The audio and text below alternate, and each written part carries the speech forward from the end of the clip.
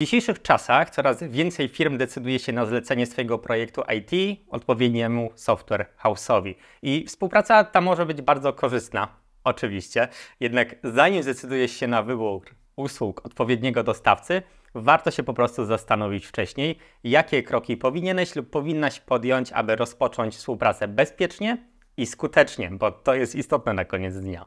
I na co zwrócić uwagę przy wyborze software house'u, co powinna zawierać dobra umowa współpracy. Tego właśnie dowiesz się z dzisiejszego odcinka. Cześć, mam na imię Arek i jestem prawnikiem, który wspiera biznesy w ich rozwoju. Moja kancelaria pomaga prawnie firmom technologicznym, startupom, sklepom internetowym czy agencjom i działom marketingu. Ok, to zaczynajmy. Od czego zacząć? Na start określ swoje potrzeby i cele biznesowe. Po prostu, bo wybierając software house należy wcześniej sprecyzować sobie te potrzeby, cele, wymagania związane z danym oprogramowaniem. W ten sposób możesz uniknąć niepotrzebnej straty czasu, kasy, pieniędzy, współpracując po prostu z nieodpowiednim dostawcą. Pamiętaj tutaj, że nieważne czy będziesz zamawiał aplikację mobilną, jakiegoś SaaSa czy inne dedykowane oprogramowanie Twojej firmie, wybrany software house będzie musiał zapewnić Ci produkt, który pozwoli na realizację Twoich celów biznesowych. I jak zrobić takie badanie rynku i wybrać odpowiedni software house? Po pierwsze, nie komplikuj sobie po prostu życia. Wyszukaj kilku potencjalnych kontrahentów IT, którzy mogą potencjalnie spełnić Twoje wymagania. Przeprowadź analizę ich doświadczenia. Zorientuj się, z jakimi projektami wcześniej mieli do czynienia jako ten software house, jako programiści. Sprawdź, jakie projekty mają w swoim portfolio. Mm, możesz sprawdzić także konkretnych kandydatów, konkretnych programistów. Poznaj opinie na temat wytypowanych e, software house'ów, zrób research za pomocą Google'a, sprawdź po prostu, co w internecie o nich piszą. Kolejna kwestia to przeanalizuj po prostu ofertę software house'u pod kątem finansowym, jak ona jest zbudowana, co ona zawiera. Na tym etapie powinieneś się dowiedzieć, za co konkretnie zapłacisz i co obejmuje cena zawarta w ofercie. Warto także umówić się na rozmowę z firmami, które najbardziej odpowiadają na Twoje potrzeby. No ale właśnie, o czym rozmawiać z takim software house'em? Po wytypowaniu kilku takich dostawców usług IT, którzy spełniają Twoje wymagania, skontaktuj się z nimi, umów się na wstępną rozmowę, dopytaj o szczegóły związane z ofertą, dopytaj o szczegóły związane z Twoim oprogramowaniem. Porozmawiaj o swoich wymaganiach i oczekiwaniach, a także o budżecie, który przewidujesz na zakup ich usług. Poproś po prostu o wycenę konkretną projektu. To co ważne, w rozmowach komunikuj wprost, czego oczekujesz od współpracy z taką firmą IT. Dodatkowo, warto już teraz na tym etapie rozmów poruszyć kilka takich istotnych kwestii, takich jak na przykład metody rozliczania się z nimi, sposób komunikacji, ich wybrany, preferowany, tryb wprowadzania zmian w projekcie czy kwestie wsparcia technicznego na etapie wdrożenia i potem użytkowania zakupionego oprogramowania, czy stworzonego po prostu dla Ciebie. I Twoja aktywność na tym stadium poszukiwań odpowiedniego software house'u może dostarczyć Ci wiele cennych informacji, które potem będą miały kluczowe znaczenie w dalszych pracach nad Twoim. Przejdźmy do kwestii formalnych. Co powinna zawierać umowa współpracy z software house'em? Po dokonaniu wyboru właściwej firmy, dostawcy, czas przychodzi po prostu na podpisanie dobrej umowy.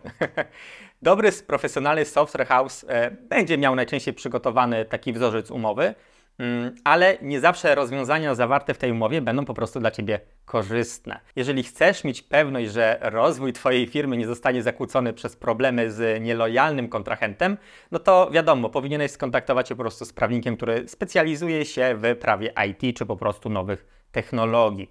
To doradztwo może być bezcenne na etapie negocjacji umowy z software house'em. Pamiętaj, że taka umowa ostatecznie musi maksymalnie uwzględniać ochronę Twoich interesów, a nie tylko tego wykonawcy. I niezależnie czy korzystasz z doradztwa profesjonalnego prawnika, pełnomocnika, czy sam negocjujesz warunki takiej umowy, to powinieneś zwrócić uwagę na kilka kwestii takich kluczowych, jeżeli chodzi o elementy dotyczące Waszej współpracy. Pierwsza taka e, istotna rzecz to precyzyjne określenie przedmiotu umowy. Umowa powinna precyzyjnie, na maksa precyzyjnie określać prawa i obowiązki obu stron, konsekwencje za niewywiązywanie się z umowy oraz ewentualny sposób rozwiązania ewentualnych sporów. W tym pierwszym punkcie kluczowe znaczenie będą mieć tutaj na przykład opis prac, jakie powinny być zrealizowane w ramach umowy, w ramach współpracy, oznaczenie jakie funkcjonalności czy funkcje ma spełniać produkt końcowy, opis narzędzi i metod, które będą stosowane do testowania tego produktu, oprogramowania,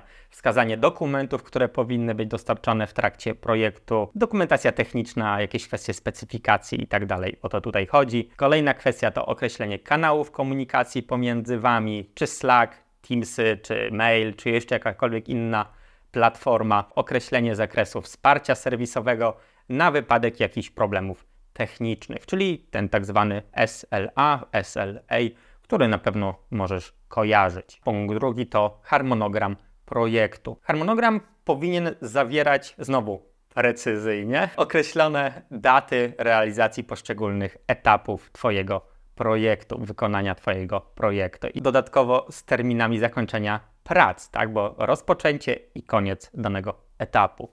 Istotne jest to, aby Twój partner przestrzegał tego harmonogramu i oczywiście realizował projekt zgodnie z ustalonymi terminami. Istotne jest w tym przypadku określenie, czy współpraca odbywać się będzie w metodyce agile, czy etapowo, kaskadowo w formie waterfalla tak zwanego. Będzie to miało istotny wpływ potem w ogóle na całą współpracę. Kolejna kwestia, trzecia, to budżet projektu. I taki budżet to po prostu wskazanie kosztów związanych z realizacją danego projektu oraz ustalenie formy rozliczenia.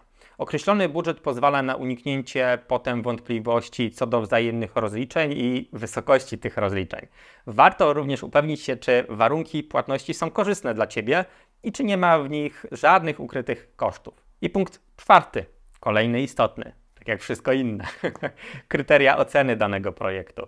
I to jasne i takie precyzyjne określenie, jakie kryteria posłużą Ci e, do ewaluacji dostarczanej usługi, są bardzo ważne. Tutaj można posłużyć się na przykład terminowością realizacji, jakością kodu, mm, łatwością w utrzymaniu i potem późniejszej rozbudowie takich rozwiązań IT, które Ci zaproponują, zgodności z Twoimi wymaganiami, ale także zgodności z wymaganiami Twoich klientów. Także dopasowanie do oczekiwań rynku i użytkowników będzie równie ważne. Przygotowanie oprogramowania odpowiadającego na Twoje potrzeby i oczekiwania to stosunkowo trudny proces, od razu mówię, i dzięki umieszczeniu w umowie powyższych elementów, o których powiedziałem, to można niskim nakładem pracy zapewnić sobie przejrzystość i skuteczność oceny takiego projektu. Po prostu, czy Software House dowozi to, co na koniec dnia chcesz osiągnąć. Tylko wcześniej też musisz się sprecyzować. I punkt piąty to odpowiedzialność stron. Umowa powinna zawierać postanowienia dotyczące zakresu odpowiedzialności Twojej, jak i Software House'u oczywiście.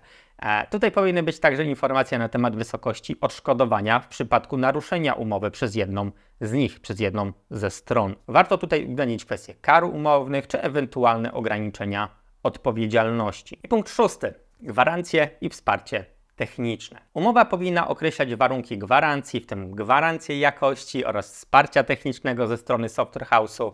Powinny być tutaj informacje na temat długości okresu gwarancji, sposobu dostarczania wsparcia technicznego, czyli znowu te kwestie związane z SLA i z supportem. Musisz mieć po prostu pewność, że otrzymasz usługę i produkt wysokiej jakości. I w tym przypadku unikaj firm, które nie chcą Ci udzielać takich gwarancji.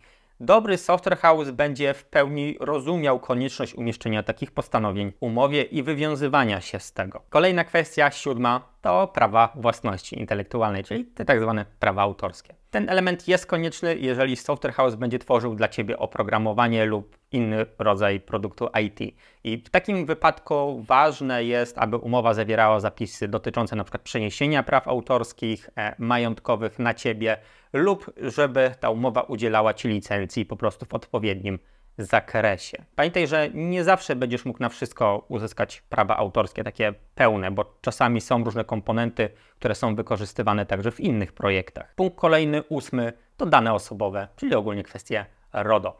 Ważne jest, aby umowa zawierała postanowienia dotyczące mm, ochrony danych osobowych, w tym informacje na temat sposobu przetwarzania danych i zabezpieczeń stosowanych przez Software House. Zadbaj w tym przypadku również o odpowiedzialność za bezpieczeństwo Twoich danych i żeby ta odpowiedzialność nie obciążała Ciebie, lecz Twojego kontrahenta na koniec dnia. Oczywiście nie wyłączysz całkowicie z RODO swojej odpowiedzialności, ale będziesz mógł czy mogła potem regresem dochodzić pewnego odszkodowania od swojego podwykonawcy. I punkt dziewiąty. Wskazanie wykonawcy projektu lub po prostu project managera. Umowa powinna wskazywać, kto konkretnie będzie odpowiedzialny za realizację Twojego projektu. Czy będzie to pojedynczy programista, czy cały zespół? Jeżeli to będzie cały zespół, to jak będą wyglądały zasady komunikacji między zespołem projektowym a Tobą? Kto będzie się z Tobą kontaktował, albo z kim Ty będziesz mógł lub mogła się skontaktować? Ważne jest, aby ten software house wytypował mm, jedną konkretną osobę, która w praktyce będzie odpowiedzialna za utrzymanie i wsparcie techniczne Twojego systemu oraz pomoże Ci, jeżeli coś pójdzie po prostu nie tak.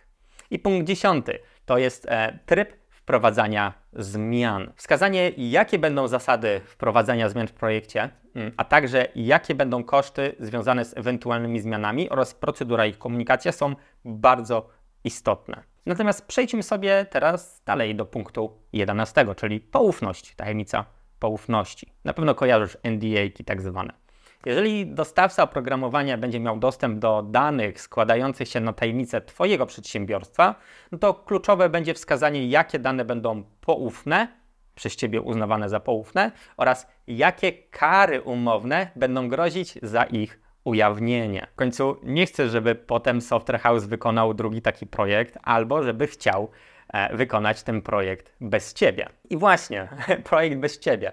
E, punkt 12. Wypowiedzenie umowy. Umowa powinna określać terminy wypowiedzenia oraz co stanie się w przypadku rozwiązania tej umowy. W tym miejscu powinny być określone m.in. zasady, na jakich umowa może zostać rozwiązana, E, w przypadku nienależytego wypełnienia obowiązków przez którąkolwiek ze stron. I projektując te postanowienia, upewnij się, naprawdę upewnij się, że umowa zawierać będzie korzystne dla Ciebie zapisy dotyczące rozwiązania tej umowy. Wspomniałem wcześniej o prawach autorskich, o licencjach, więc punkt 13 to open source. Jeżeli projekt będzie wykorzystywał ten typ oprogramowania, bibliotek i tak dalej, już nie wchodząc w szczegóły IT, to upewnij się, że umowa zawiera odpowiednie zapisy dotyczące jego wykorzystania, na przykład właśnie licencjonowania, kwestie, w jaki sposób ty możesz potem z tego korzystać i to na przykład modyfikować. A jak dojdzie do sporów, to punkt 14, czyli tryb rozwiązywania sporów. Określ tutaj, jakie będą zasady rozwiązywania ewentualnych sporów wynikłych w trakcie współpracy. Czy od razu idziecie do sądu, czy najpierw macie ułożoną jakąś inną ścieżkę pod to. I niezależnie od wszystkiego, przed podpisaniem umowy e, upewnij się, że jest ona zgodna z prawem, bo czasami po prostu te umowy nie są po prostu zgodne z prawem. I podsumowując tą kwestię umowy, umowa z Software House'em powinna być precyzyjna, jasna, zrozumiała dla obu stron. Powinna uwzględniać wszystkie kluczowe aspekty projektu, kluczowe dla Ciebie oczywiście, odpowiadać na Twoje potrzeby, określać zasady, na jakich będziesz współpracować z danym software house'em. I tutaj często pojawia się takie pytanie, czy podpisanie umowy z software house'em załatwia nam już sprawę na wszystko. No, odpowiedź e, może niespodziewana z ust prawnika, szczególnie specjalizującego się w takich umowach, ale odpowiedź brzmi po prostu zdecydowanie nie. Umowa nie załatwia wszystkiego. Podpisanie umowy to nie koniec takiego Twojego aktywnego zaangażowania się we współpracę z Software House'em. Przygotowanie dedykowanego oprogramowania to skomplikowany projekt. Warto regularnie sprawdzać postępy w pracach nad poszczególnymi etapami określonymi w harmonogramie, monitorować przebieg procesu wdrożenia oprogramowania oraz po prostu utrzymywać bieżący kontakt z tym software house'em. Istotny jest bardzo właściwy przepływ informacji, który umożliwi Ci reagowanie na ewentualne problemy, co ograniczy później opóźnienia w realizacji projektu. I kolejne pytanie, czy trzeba sztywno realizować harmonogram projektu i trzymać się po prostu niego? I podczas współpracy z software house'em warto regularnie weryfikować wszystkie realizowane zadania pod względem ich zgodności z pierwotnymi planami. Warto jednak pamiętać, że nie możesz z góry przewidzieć wszystkiego, każdego problemu, każdego dodatkowego rozwiązania, które może Ci zaproponować software house i tak dalej. Świat technologii jest bardzo zmienny, dlatego nie bój się ewentualnie dostosowywać się do aktualnych potrzeb i zmieniających się warunków na rynku. Bądź otwarty na komunikowaną przez kontrahenta ewentualną konieczność zmian w etapach prac, w harmonogramie prac, czy w ewentualnych technologiach, czy po prostu przyjętych rozwiązaniach. I znowu, w tym kontekście bardzo istotne dla dobrej współpracy z Software House'em jest właściwy przepływ informacji pomiędzy Tobą a podwykonawcą IT. I już na etapie umowy określ naprawdę te zasady i formę, w jakiej będziecie modyfikować poszczególne elementy współpracy czy samego projektu. No i właśnie, kolejne takie pytanie, które pojawia się często w e, głowach naszych klientów, o których rozmawiamy z nimi, to jak utrzymać kontrolę nad wykonaniem tego projektu, nad wykonaniem umowy. I tak, mm, już na etapie przygotowania umowy ustal z Twoim partnerem IT, jak często chcesz otrzymywać raporty z postępów prac oraz w jaki sposób będziesz komunikować się z zespołem projektowym lub tym project menadżerem. Dzięki temu będziesz mógł utrzymać rękę na pulsie po prostu w trakcie tworzenia tego Twojego software'u. Nie zapomnij też o testowaniu, o ewaluacji i po zakończeniu poszczególnych etapów warto po prostu przeprowadzić takie testy, warto sprawdzić, ocenić jakość wykonanej pracy. Też możesz określić odpowiedni czas dla Ciebie w samej umowie na to. A jeżeli pojawią się jakieś problemy, no to skontaktuj się z dostawcą i poproś o ich naprawę. Takie rzeczy, czyli poprawki, też powinny być uwzględnione w umowie. I na sam koniec, ostatni temat. Dokonaj takiej ostatecznej ewaluacji projektu. Po przeprowadzeniu ostatnich testów warto po prostu dokonać takiej ostatecznej oceny jakości wykonanej pracy, jak to już wszystko jest spięte w jedną całość. Określ, czy produkt, oprogramowanie spełnia Twoje wymagania, czy jest zgodne z umową, zgodne z briefingiem, z briefem, z wcześniejszymi ustaleniami. Jeżeli coś będzie nie tak, no to znowu skontaktuj się z Software House'em i zasygnaluj konieczność poprawienia tych błędów. To, co jest ważne, to nigdy nie zwlekaj z komunikowaniem problemów, z komunikowaniem błędów, które widzisz. Jest to bardzo istotne, taka szczerość w komunikacji. Twoja umowa, o ile ją będziesz posiadać, no to będzie Ci gwarantować taką kompleksową obsługę. Jednak druga strona musi wiedzieć, co jest do naprawienia. Jak tego nie zakomunikujesz, to oni nie będą wiedzieli. I w dalszej kolejności pamiętaj, że tworzenie oprogramowania dedykowanego Twojej firmie wymaga nie tylko właściwie skonstruowanej umowy, lecz również takiego dokładnego planowania, weryfikowania i oceny etapów oraz samego końcowego efektu, czyli tego oprogramowania. I współpraca z Software House'em może być bardzo korzystna, o ile zostanie po prostu przeprowadzona w przemyślany sposób. I teraz tak, co powinieneś lub powinnaś zapamiętać z tego odcinka? W celu uniknięcia problemów i zagwarantowania sukcesu całego przedsięwzięcia, warto dokładnie przygotować się do współpracy z takim software house'em. I przestrzegając kilku zasad, które wspomniałem w dzisiejszym odcinku, możesz naprawdę bardzo dużo zyskać. I podsumowując, szukaj rozwiązań skrojonych na Twoją miarę oczywiste. Dokładnie omów założenia i szczegóły przyszłego projektu już na etapie negocjacji przed zawarciem umowy. Nie zapomnij również sprawdzić swojego przyszłego partnera i w tym celu skorzystaj z doświadczeń jego byłych lub obecnych klientów. Nie bój się przy tym korzystać z tak prozaicznego narzędzia, jakim jest po prostu Google. I wyszukaj informacji na temat danego software house'u w internecie, co po prostu w internecie ludzie piszą na ten temat. Kolejna istotna kwestia, dzisiejszy temat, to podpisz umowę, która będzie zabezpieczała Twoje interesy. Taka umowa powinna zawierać co najmniej elementy wskazane przeze mnie w tym odcinku. Zwiększysz dzięki temu swoje szanse na spełnienie Twoich oczekiwań związanych z dobrą współpracą z danym wybranym dostawcą oprogramowania. Kolejna kwestia to dbaj o właściwy obieg informacji pomiędzy Twoją firmą a software house'em, monitoruj realizację swojego e, projektu IT, egzekwuj wykonywanie poszczególnych etapów prac, harmonogramu itd. Tak Na bieżąco komunikuj się z osobą odpowiedzialną za Twoje oprogramowanie, project managerem itd. Tak po prostu trzymaj rękę na pulsie. I to tyle na dzisiaj. Jeżeli masz pytania lub szukasz profesjonalnego wsparcia, to zawsze możesz się po prostu ze mną skontaktować. Mojego maila i link do formularza kontaktowego znajdziesz w opisie do tego odcinka. Jeżeli chcesz, żebym poruszył jakiś konkretny temat lub rozwinął coś, o czym mówiłem w dzisiejszym odcinku, to również możesz do mnie napisać lub zostaw komentarz niżej. Będę bardzo wdzięczny, jak zostawisz łapkę w górę i zostaniesz na moim kanale dłużej. Także dzięki Ci za dzisiaj, do usłyszenia i cześć.